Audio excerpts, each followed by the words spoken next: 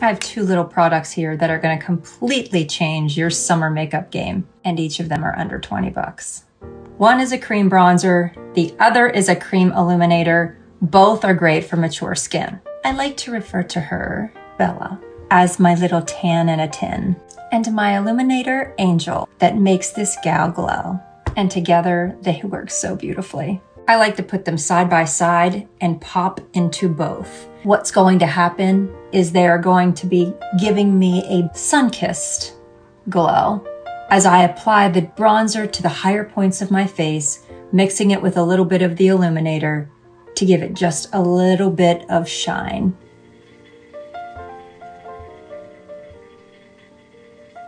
I can even use the bronzer as an eyeshadow.